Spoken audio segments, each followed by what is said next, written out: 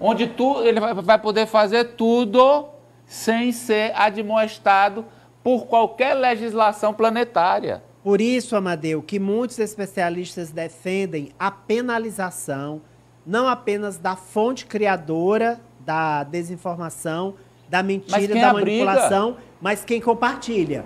Por quê? Quem compartilha e quem abriga. E quem abriga, porque você precisa, você precisa penalizar. Se é possível penalizar quem criou, bacana. Mas quem criou passou para um influenciador, passou para um coordenador de grupos de WhatsApp que replicou comprovadamente, porque aí é mais fácil rastrear e monitorar, replicou 10 mil vezes.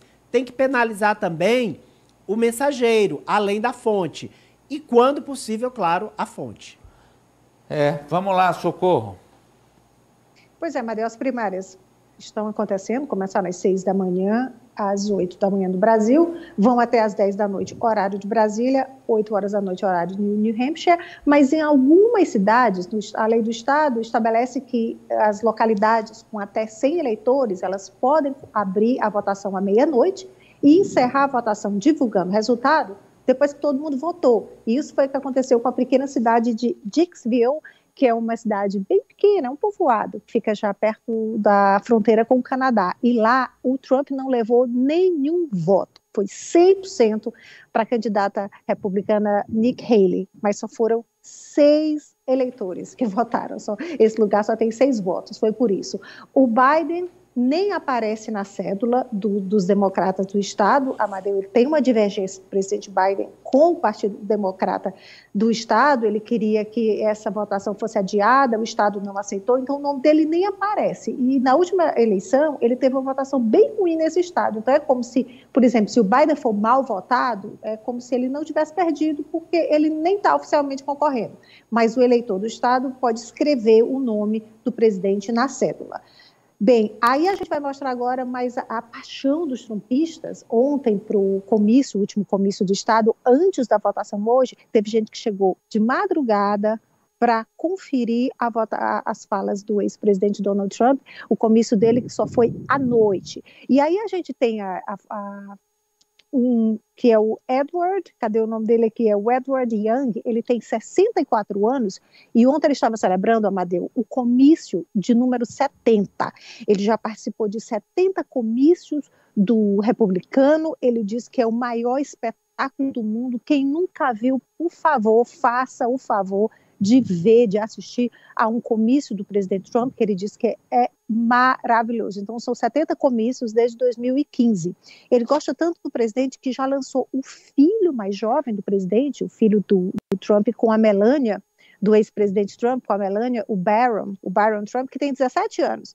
Tem aí um, um, um adesivo, não, um broche com o nome aí, acho que a produção separou, Barron 2052. Olha aí, para presente. Agora, Amadeu, como ele está parecido? Acho que a produção também separou aí uma foto do filho do Trump, o mais novo, no velório da, da, da, avó dele, da sogra do Trump, na semana passada, e é impressionante a semelhança do garoto com o pai. Esse menino, olha, o, a, o Trump tem mais de 1,80m, o garoto de 17 anos tem mais de 2 metros, parece que tem 2 metros e 1 centímetro. Amadeu. Trump Esqueça o negócio de o político Trump. O Trump, ele é uma mistura de religião e astropop. Isso, tá? as pessoas não querem saber o que na economia, se vai dar emprego, se é, ele é separatista, se ele gosta dos estrangeiros, se não gosta.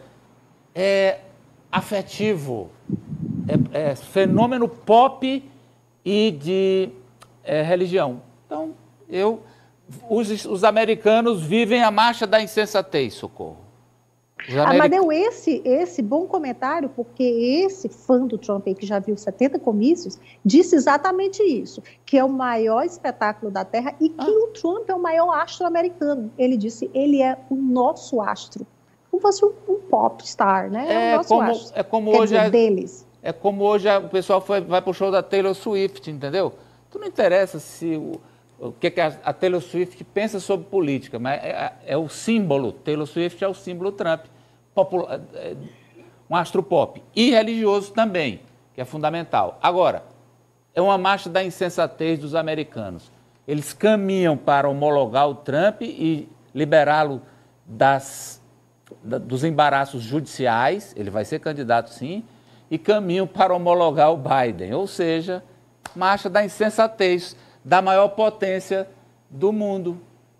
Sim ou não? A Rússia comemora, né? A Rússia comemora.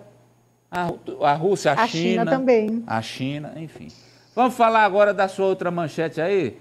O Ari não entendeu.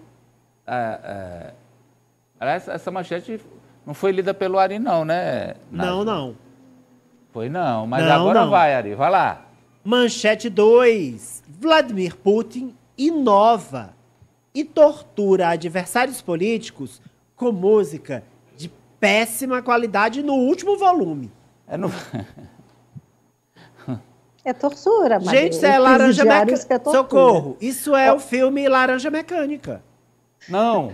Olha, é o Alexei Navalny, que tem 47 anos, que é o maior opositor do presidente Trump. O Navalny, que já foi envenenado, sobreviveu.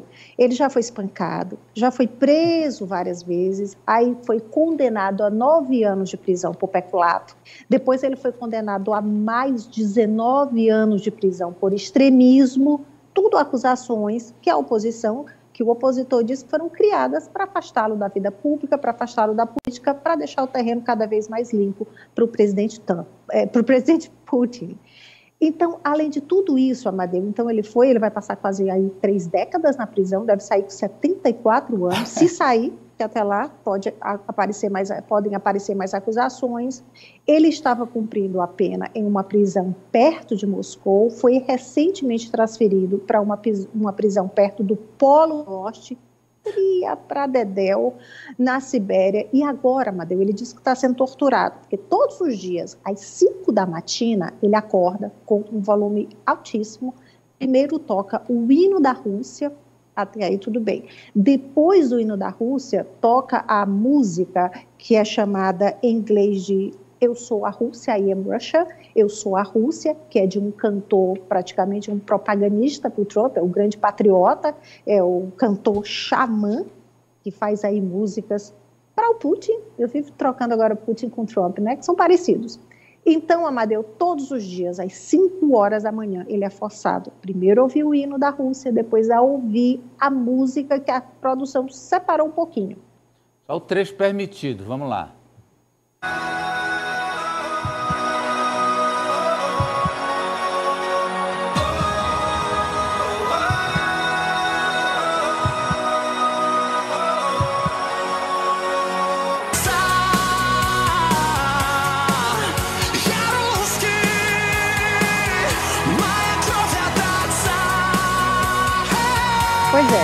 Isso aí, Amadeu. Todos os dias às 5 da manhã.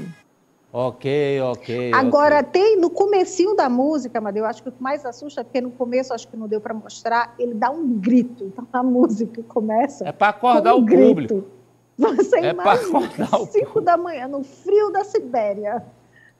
Esse Vou, grito. Atenção para a pergunta, atenção para a pergunta. Ô Alessio, você ouvindo isso aí 5 da manhã no Polo Norte, confessaria em quanto tempo? Olha, Amadeu, eu acho que no primeiro dia já. Porque... Primeiro dia, vocês é... façam o que quiserem, eu já... Porque imaginar passar três décadas né, ouvindo ela, eu preferia logo é, antecipar esse sofrimento e acabar logo. A Poliana... Não. Você acostumava, acho, né? Acho que dava. Tá, tá ok. Tá de boas? Tá, tá de boa. Tá de boa. Por, por 30 anos. Acho que, acho que, depois de um tempo você vai, inclusive, perdendo ali a percepção das coisas é, e embarca no universo paralelo. Agora, Amadeu Putin, ele deve ter fetiche em torturar o Navalny, né? Porque outros adversários ele já se já, livrou já se livra mais logo, rapidamente, né? né? Mas olha, olha, olha, Ari. Mas ele tentou, Francis, ele tentou envenená-lo, né? É porque esse Naval não é morredor, o Naval de fraco. Ele não foi conseguir, né, seu Olha, eu... Ari, esse Navalny é muito vivedor, rapaz. Eu quero agradecer ao presidente Vladimir Putin, porque é agora que eu vou malhar de manhã cedo, 5 horas da manhã. Porque despertador de celular não funcionava, mamãe me chamando não funcionava, Mas com essa música do Xamã, todo dia eu vou programar para 4h50. 5 horas estarei na academia junto com a Poliana Oliveira. Ari, espera até você ouvir o grito, viu? É no começo da música. Bem, espera a, só o grito. É, e vamos fechar aí com mais notícia do mundo louco. Os americanos agora inventaram um novo jeito de matar. Asfixia com nitrogênio. É, Amadeu, é o estado do Alabama que vai executar essa primeira execução por, por gás nitrogênio depois de amanhã, na próxima quinta-feira, apesar de alguns recursos, algumas apelações, todas rejeitadas até agora, ainda há uma, então ainda há chances de suspender essa execução até a próxima quinta-feira. É por gás nitrogênio. Então, o prisioneiro ele é amarrado a uma maca, coloca uma máscara no rosto, uma máscara que cobre o nariz e a boca e que libera esse gás. Sem oxigênio, o prisioneiro morre asfixiado. O Estado do Alabama defende, a Procuradoria do Estado defende, diz que o paciente, o prisioneiro vai ficar inconsciente em segundos e que vai morrer em minutos. Mas essa forma de execução nunca foi testada, vai ser a primeira vez. São três estados americanos que adotam, além do, do Alabama, o estado do Mississippi e Oklahoma. A Procuradoria do Alabama, inclusive, para alegar esse tipo de execução, diz que é o caso mais indolor e mais humano, usou essa palavra, mais humano, de se executar um prisioneiro. Bem, a defesa do prisioneiro está pedindo a suspensão porque viola a lei que proíbe punição cruel de tortura, que é o que também alega as Nações Unidas. A ONU também pediu a suspensão da execução, porque considera isso aí pode ser considerado tortura, tortura de prisioneiros, o que é proibido. E também para vários grupos, por exemplo, tem um grupo de médicos que também pede o fim desse tipo, que, que não se use essa execução nos Estados Unidos. Os médicos dizem que corre, o paciente corre o risco de ter convulsões e morrer sufocado com o próprio vômito. O médico diz ainda, o médico anestesista, diz que qualquer vazamento do gás, além de pôr em perigo quem está perto, pode prolongar a execução do prisioneiro ou até pode fazer que ele sofra bastante, mas que ele não morra. Esse, médio, esse método já foi usado para matar animais, mas os veterinários recomendam que o animal seja sedado, o que não vai acontecer no caso do prisioneiro do estado do Alabama. As diretrizes da eutanásia da Associação Médica Veterinária Americana por sufocamento por nitrogênio, não, eles dizem que não é um método recomendado para os mamíferos, porque é uma morte angustiante. Isso que os veterinários dizem. Ah, o, a gente está vendo aí o prisioneiro, é o